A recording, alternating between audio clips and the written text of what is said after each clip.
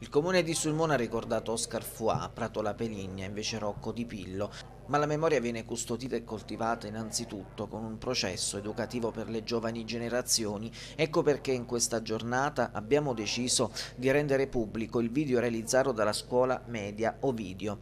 Anziché osservare il classico minuto di silenzio alle ore 10.30 circa, tutte le classi con le porte aperte hanno declamato la poesia Scarpette Rosse per non dimenticare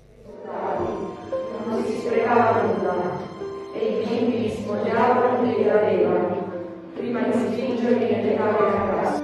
C'è un paio di scarpette rosse, di scarpette rosse per la domenica a Buchenwald. Erano di un bimbo di tre anni, forse di tre anni e mezzo.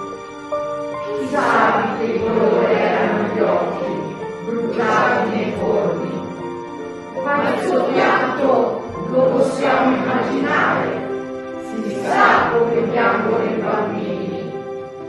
Anche i suoi piedini possiamo immaginare. Scarpa numero 24 per l'eternità, perché i dei bambini morti non crescono.